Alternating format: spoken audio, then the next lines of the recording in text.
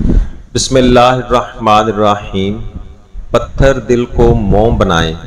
चंद seconds में सूरह अल कुरैश का वजीफ़ा और हर कोई सेकंड्स में बात माने। दोस्तों, आजकल हर कोई किसी ना किसी परेशानी में मुब्तला है। जैसे किसी के रिश्ते में रुकावट बन जाती है। पसंद की शादी में वालदेन नहीं मानते। नौकरी के लिए जाएँ तो अफसर वगैरह टाल देते हैं, या सरकारी महकमों में कोई बात नहीं सुनता। इन सब के दिल मोम करने के लिए और इनसे अपनी बात मनवाने के लिए ये बहुत ही मुजरब अमल है। इसलिए इसको अपनाना चाहिए।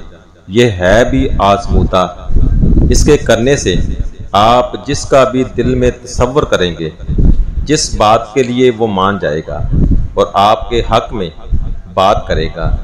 ये बहुत ही छोटा सा अमल है। इसको आप चंद सेकंड्स में कर सकते हैं। इससे लोगों का दिल मोम हो जाता है और काम आसानी से हो जाते हैं इन वजीफ़ा और अमल। जो शख्स अपने तालु के साथ ज़बान लगाकर फिर सुन लें, जो शख्स अपने तालु के साथ ज़ुबान लगाकर दिल में तीन दफ़ा सूरह अल कुरैश पढ़े तो उस बंदे का दिल मोम हो जाता है। बस बंदे का तस्वर करके तीन दफ़ा सूरह अल कुरैश पढ़नी है और लोगों का दिल मोम हो जाएगा इन सूरह अल कुरैश ये है बसमीम ली इलाफ़ी कुरैश इलाफ़िम रहला तशिताई वसैफ़ फल याबुदू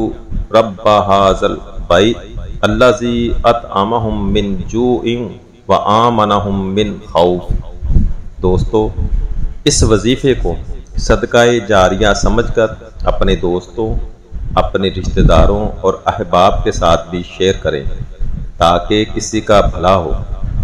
दुआओं में याद रखें, अल्लाह हाफिज़।